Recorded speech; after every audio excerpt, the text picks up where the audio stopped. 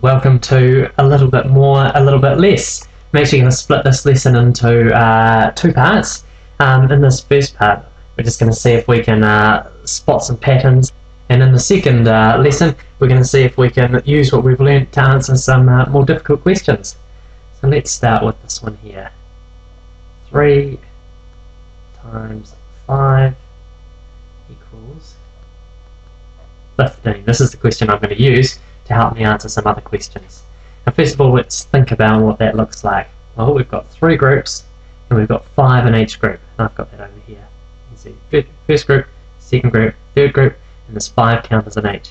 Now I'm going to see if I can use this problem here to help me answer this problem here. And I'm going to think to myself, how does three sets of six look different from three groups of five? Well, the answer is each one of these groups has to have one more. So instead of having five, I'll have six. So I'm going to put those in just up here.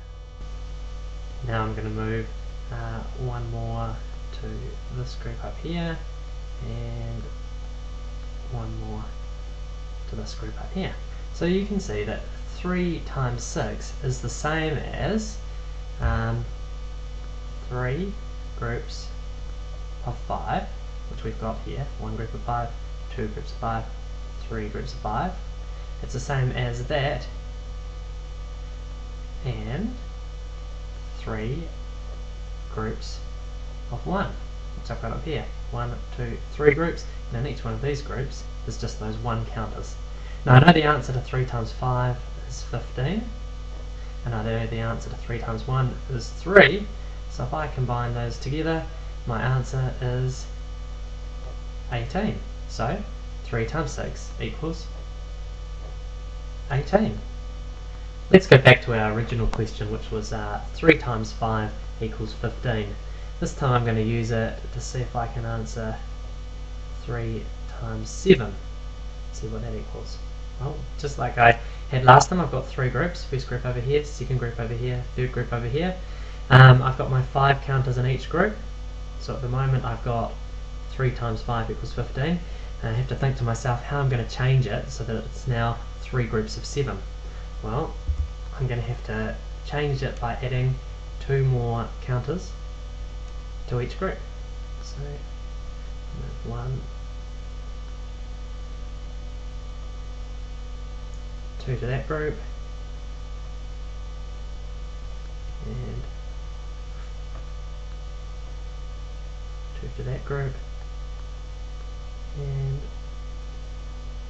two to that group. So you can see that 3 times 7 is the same as 3 groups of 5. I'll write that down.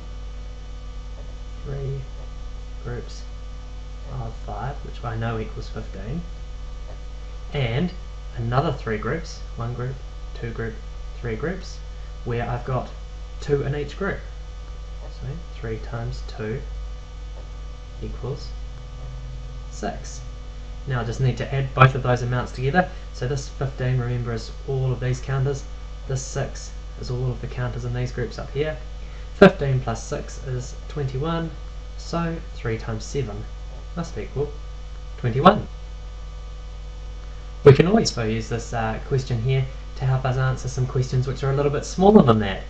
Um, I'm going to use 3 times 5 equals 15 again, and this time I'm going to use it to help me work out 3 uh, groups of 4. Well, I imagine in my head, or I look over here, there's three groups with 5 in each one, and I think to myself, how can I change these so that it looks like three groups of 4? Well, the answer is I'd have to go and uh, cross out cross out one from each pile so cross out one from over there cross this one out and cross that one out let's have another go so we know that 3 times 4 is the same as 3 groups of 5 minus 3 groups of 1 now that's this bit up here. See there's uh, one group, two group, three groups, and in each of those places I crossed out one. Well, 3 times 5 equals 15, and 3 groups of 1 is 3, and I need to take those away. 15 minus 3 is 12. So 3 times 4 must equal 12. You can find the second part of this lesson at teachertools.co.nz.